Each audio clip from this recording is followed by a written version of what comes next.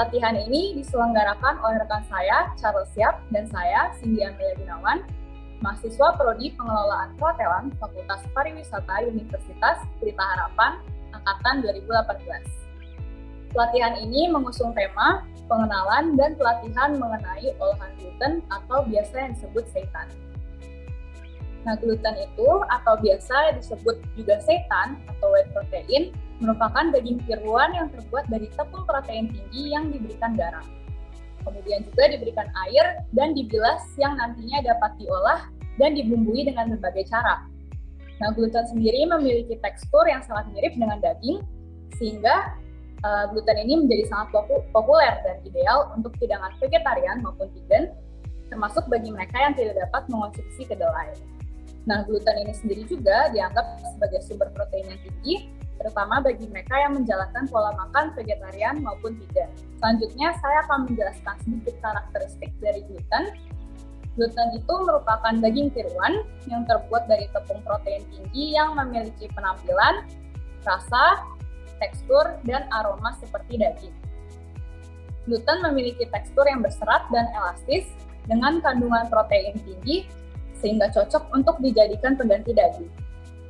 Gluten sendiri memiliki rasa yang netral dan ringan, sehingga sangat mudah untuk diolah dan menyerap bumbu-bumbu serta rasa dari bahan-bahan yang ditambahkan selama proses memasak nanti.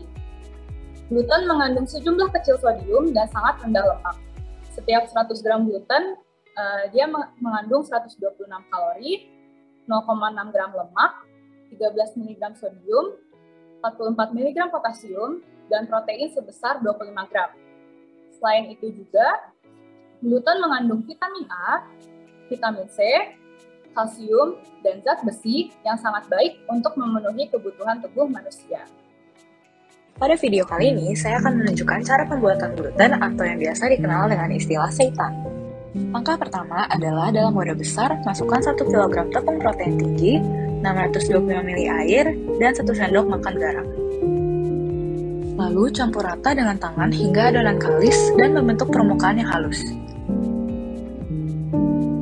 Pindahkan adonan ke wadah bersih dan rendam dengan air hingga seluruh permukaan adonan tertutup dan diamkan selama 2 jam. Kemudian ganti dengan air baru dan mulai mencuci adonan. Cuci dan bilas terus adonan hingga teksturnya berubah menjadi lebih terurai dan halus. Proses ini dilakukan hingga 15 kali untuk hasil yang maksimal. Hal ini dilakukan guna menghindari hasil akhir yang lembek dan bertepuk. Masukkan garam pada dua bilasan akhir untuk meningkatkan tekstur pada adonan. Buang air hasil rendaman dan ganti dengan air yang baru.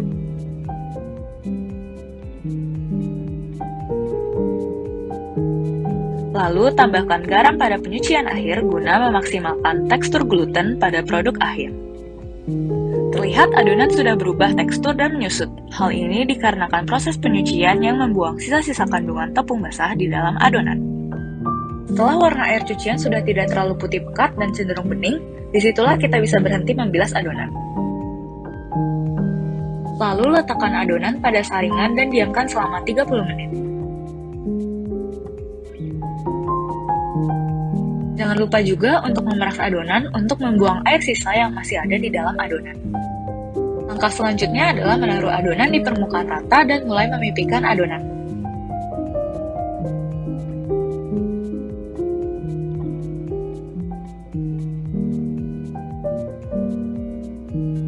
Lalu mulai potong adonan menjadi tiga bagian panjang.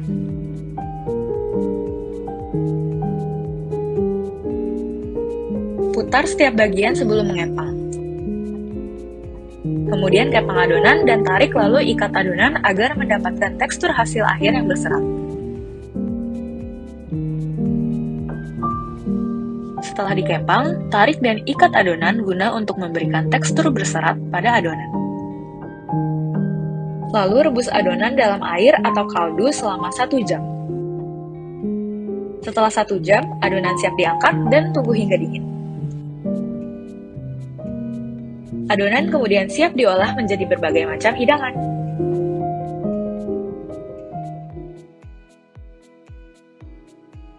Uh, selamat siang semuanya. para peserta dan juga Bapak Ibu dosen. Uh, perkenalkan, nama saya Charles Siap, mahasiswa dari Universitas Pelita Harapan, program studi pengelolaan perhotelan. Jadi tadi materi untuk produk gluten sendiri sudah dibawakan oleh teman saya Cindy. Uh, semoga sudah cukup jelas dan jika ada pertanyaan dapat ditanyakan, dikumpulkan di kolom chat dan akan kita jawab saat sesi akhir uh, presentasi ini. Untuk makanan yang akan dimasak pada hari ini adalah dua menu, yaitu gluten woku dan juga dan juga gluten sambal mata. Untuk bahan-bahannya sendiri uh, kemarin juga sudah saya kirim semuanya ke SM KMU UKM Center uh, yang sudah ibu-ibu semua terima masing-masing. Untuk isi paket tersebut bahannya sama seperti yang sudah di hadapan saya, yaitu untuk pertama bahan dari woku ada adalah pasta dari Woku itu sendiri yang sudah saya blender dan saya tumis sebentar. Uh, bahan ini terbuat dari bawang putih, bawang merah, bawang putih, bawang merah, kunyit, jahe, cabai rawit merah, cabai rawit besar, cabai merah besar maksud saya, dan kemiri. Uh, harus ditumis sebentar agar tahan lama dan warna kuningnya itu keluar, Bu. Lalu bahan lainnya kita pakai kaldu jamur karena menu ini vegetarian untuk substitusi dari kaldu ayam, kemudian cabai rawit merah, daun bawang, bawang putih iris, ada tomat segar, ada daun kunyit ibu-ibu untuk ciri khas dari woku ini sendiri, ada daun pandan muda yang sudah saya iris tipis juga, ada air, ada jeruk limau, garam, gula, dan bintang utamanya sendiri yaitu potongan dari gluten sendiri yang sudah saya olah hari sebelumnya. Dan untuk pelengkapnya ada daun kemangi. Kita, saya mulai aja ibu-ibu untuk memasaknya. Jadi uh, bahan yang saya kirim tinggal ibu-ibu potong sesuai ukuran yang diinginkan. Untuk daun-daunnya ibu-ibu bisa iris tipis saja.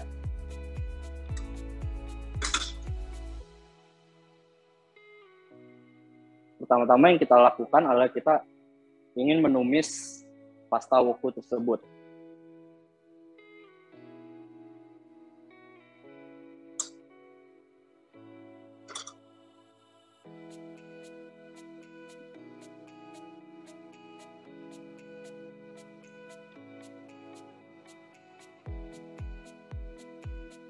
Bisa dimasukkan semuanya aja ibu untuk satu porsi woku tersebut. Dan dagingnya bisa digunakan setengah setengahnya lagi untuk sambal mata. Jadi sambil menunggu tumisan ini kita bisa langsung masukkan potongan glutennya. Yang sudah saya potong eh, kira-kira kotak-kotak kecil ini ya. Bisa dimasukkan setengah dari gluten yang saya berikan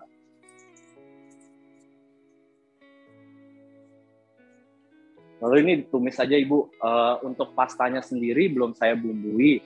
Jadi nanti harus ada bantuan dari jeruk, dari cabai rawit lagi, garam, gula, dan kaldu jamur untuk menambah rasanya.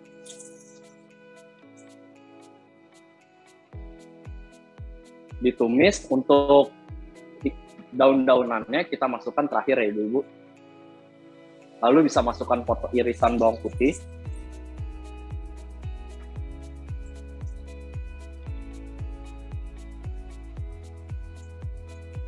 ditumis saja hingga harum.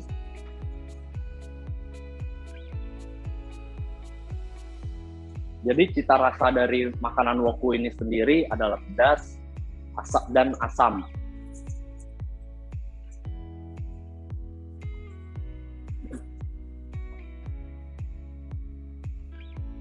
Bisa dimasukkan potongan cabai rawitnya.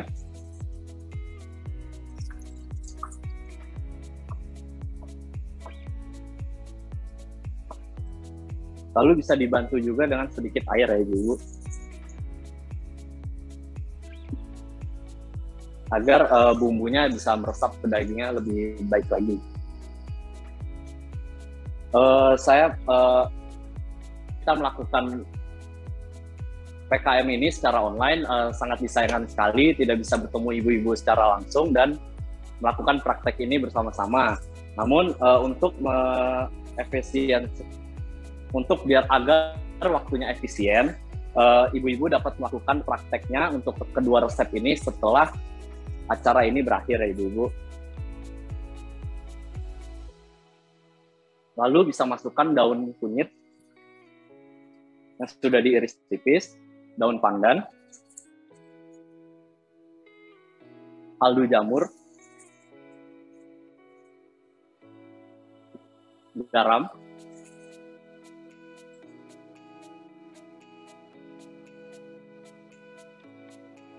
dan juga gula pasir.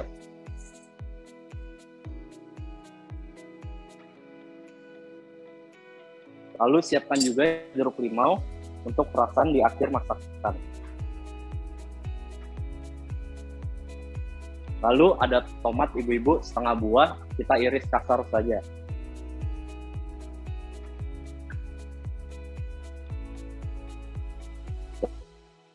Kira-kira seperti ini ya ibu-ibu.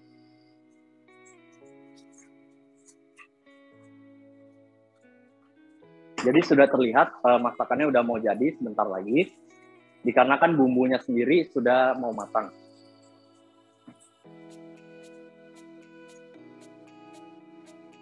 Bisa ditambah lagi sedikit air. Lalu masukkan potongan tomat.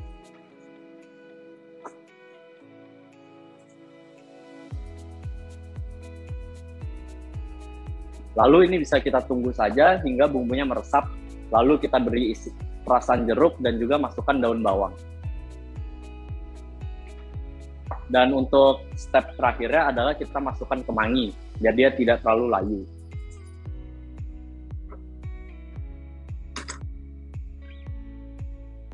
Oke, jadi saya masukkan perasan jeruk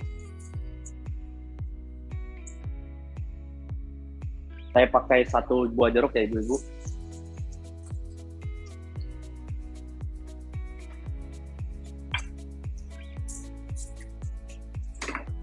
Lalu untuk yang terakhir kita masukkan iris uh, daun kemangi.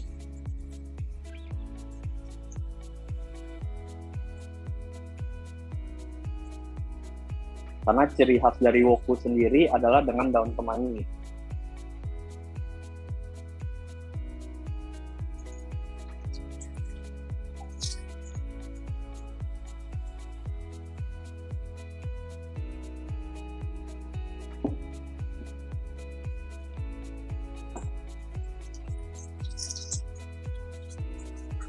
Jadi ini sudah mau matang ya ibu-ibu, dapat terlihat warna yang dominan ada warna oranye dan merah dan juga hijau.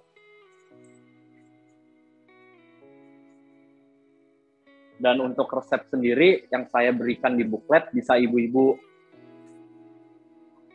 ubah-ubah lagi sesuai selera ibu-ibu masing-masing.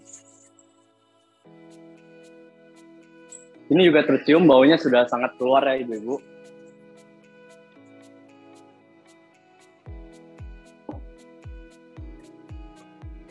Nah, jadi untuk menu woku ini sendiri sudah jadi, tinggal siap untuk di plating.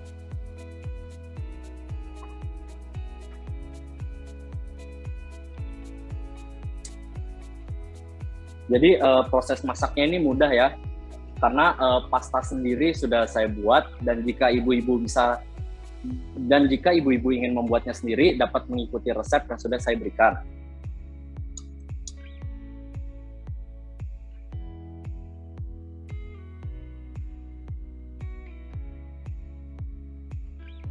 Untuk menu pertama sudah selesai ya Bu-Ibu dan akan berlanjut ke menu kedua.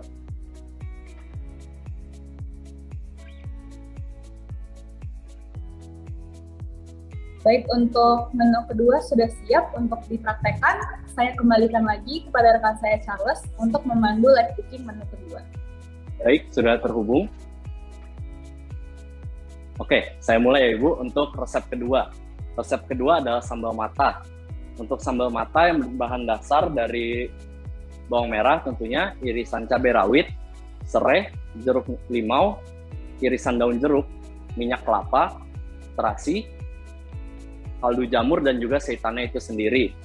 Untuk resep ini juga bisa ibu-ibu tambahkan kecombrang agar lebih harum dan jika itu uh, menjadi selera ibu-ibu sekalian. kita langsung mulai saja. Yang pertama, masukkan irisan bawang merah ke dalam wadah. Bentar ya ibu-ibu.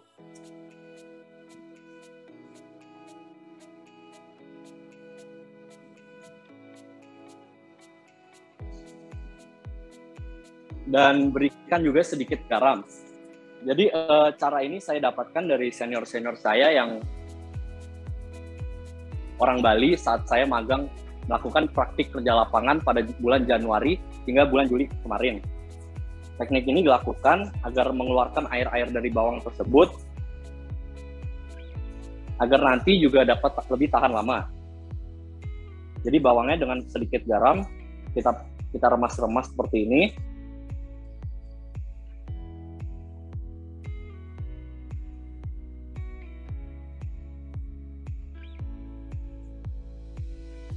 Dan untuk resep ini uh, suiran gluten tersebut bisa ibu-ibu goreng terlebih dahulu dan suir-suir agar lebih menyerupai dengan dada ayam suir.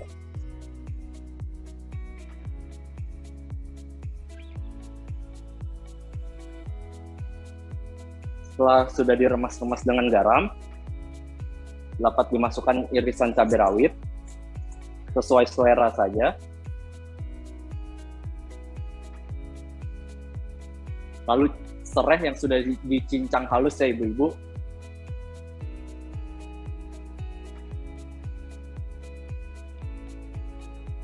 Lalu daun jeruk.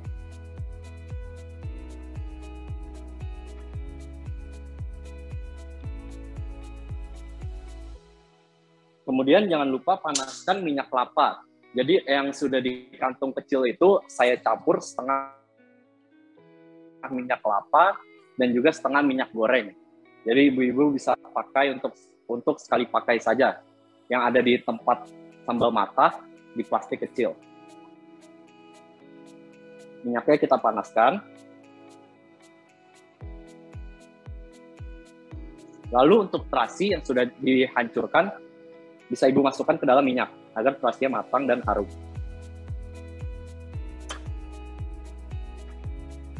Lalu tambahkan kaldu jamur.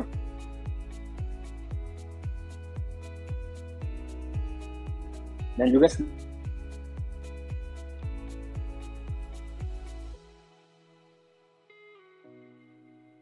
lalu bisa diremas-remas lagi. Tinggal step terakhirnya itu kita masukkan minyak yang sudah panas dan juga terasi. Lalu tinggal dicampur dengan irisan uh, dengan suiran setan yang sudah digoreng.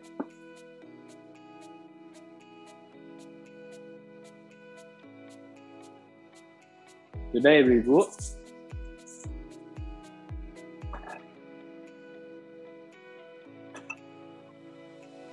Minyaknya sudah cukup panas. Bisa langsung kita siram.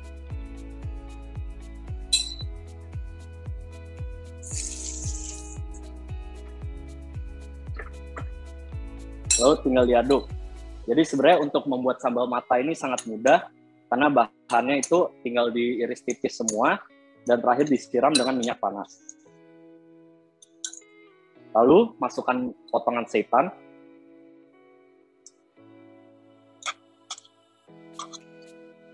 Dan tinggal dicampur rata ibu-ibu.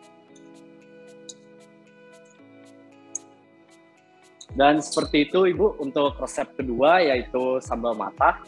Dan nanti kita akan masuk pada sesi tanya jawab untuk jika ada pertanyaan-pertanyaan dari ibu-ibu semuanya.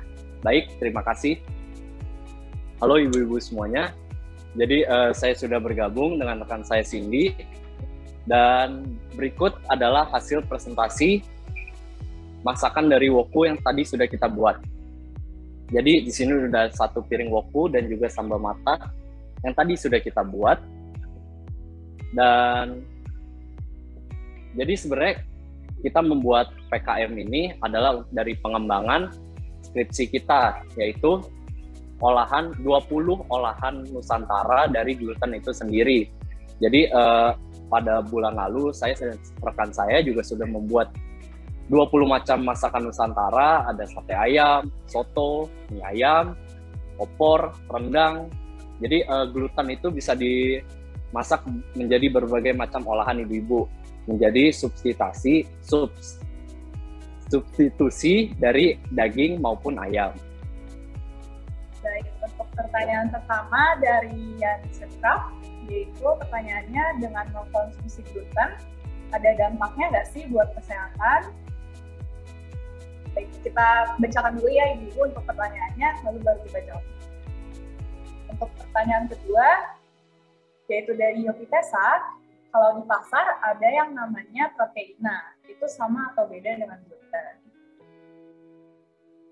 Pertanyaan ketiga, dari Yopi Tessa lagi dan Ibu Nina Diana, tahan berapa lama gluten, penyimpanan kulkas atau freezer, untuk gluten sendiri tahan dalam suhu apa dan berapa lama. Kemudian ada pertanyaan dari Tari Rashid, kalau kita mau buat gluten lebih banyak untuk disimpan dan dipasarkan produknya, bahan bakunya apakah bisa didapatkan di pasaran? Baik, baik itu itu dia pertanyaan-pertanyaan yang sudah dikumpulkan. Um, mungkin kita bisa langsung jawab saja ya. Untuk pertanyaan pertama. Untuk pertanyaan pertama, boleh tambah tambahan lagi dari Ian Jadi untuk pertanyaan, pertanyaan pertama, terima kasih dari Ian Cekraf. Uh, akan saya jawab dengan mengonsumsi gluten ada ada dampaknya nggak sih buat kesehatan? Jadi uh, gluten sendiri memiliki kandungan yang sangat baik ibu-ibu, tinggi akan protein. Namun untuk masyarakat yang mengikuti pola makan vegetarian, mereka pun tidak mengonsumsi gluten setiap harinya, hanya beberapa beberapa kali. Jadi tidak uh, sepenuhnya bergantung pada gluten. Karena untuk uh, mengimbangi nutrisi-nutrisi lainnya yang tidak ada dalam kandungan gluten bisa karena uh, gluten sendiri tidak kalah proteinnya dengan tahu maupun dengan ikan atau dengan protein lain sumber protein lainnya. Jadi uh, untuk saran saya gluten itu sangat sehat, kandungan gizinya sangat baik, namun uh, tidak terlalu baik juga jika setiap hari itu uh, kita konsumsi secara terus menerus. Itu dia pertanyaan dari pertanyaan pertama pertanyaan kedua dari Ibu Yogyakarta. Baik, untuk menjawab pertanyaan, kalau di pasar ada yang namanya protein, proteina itu sama atau beda dengan gluten? Baik Ibu, uh, pertanyaan kedua terima kasih dari Ibu Yogyakarta. Pertanyaannya, kalau di pasar ada yang namanya proteina, itu sama atau beda dengan gluten? Jadi uh, produk proteina sendiri sudah di, di komersilkan dalam kemasan-kemasan yaitu proteina itu olahan dari tepung kedelai, tepung dari kacang kedelai yang menjadi eh, bola-bola kecil itu ibu-ibu. Dan bedanya dengan gluten itu uh, dari bahan dasarnya.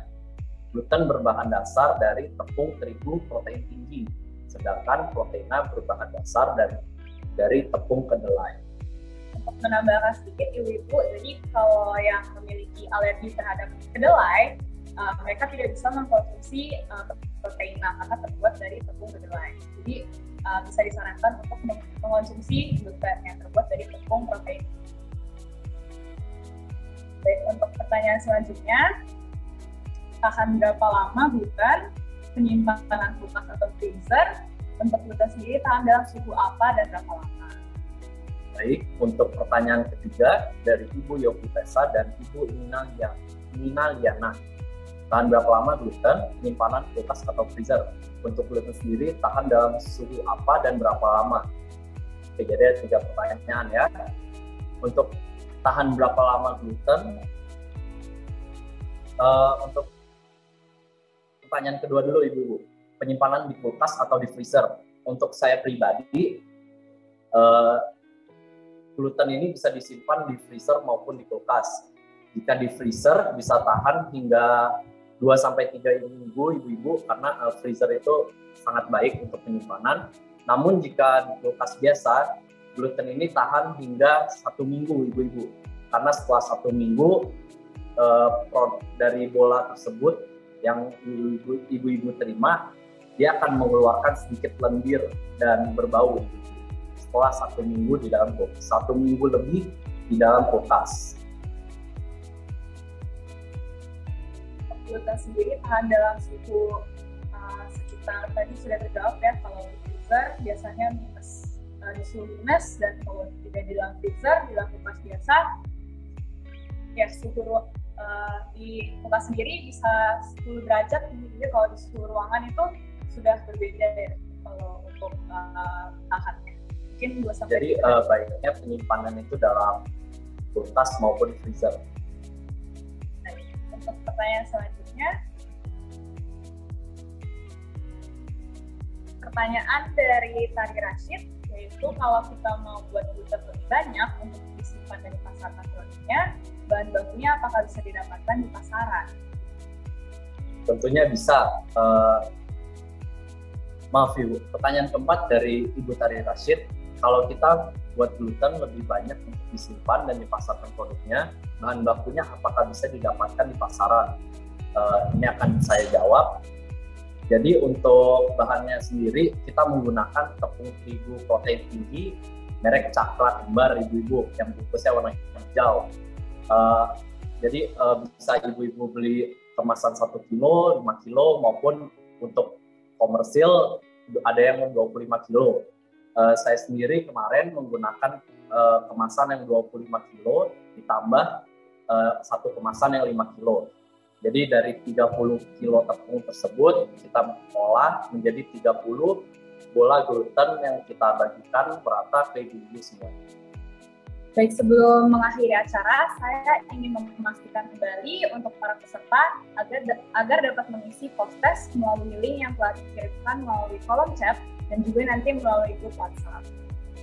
Uh, saya Melia mengucapkan terima kasih banyak kepada pihak SNL UMKM Center, para dosen, dan peserta sekalian yang telah berpartisipasi dan menyimak acara pengenalan dari pelatihan ini dari awal sampai akhir. Mohon maaf jika ada salah kata maupun kekurangan pada acara ini. Semoga banyak ilmu baru yang didapat oleh ibu-ibu sekalian. Akhir kata, saya perwakilan dari tim acara ini mengucapkan terima kasih dan acara Zoom ini akan diakhiri. Peserta diperbolehkan untuk meninggalkan Zoom. Terima kasih dan selamat sore.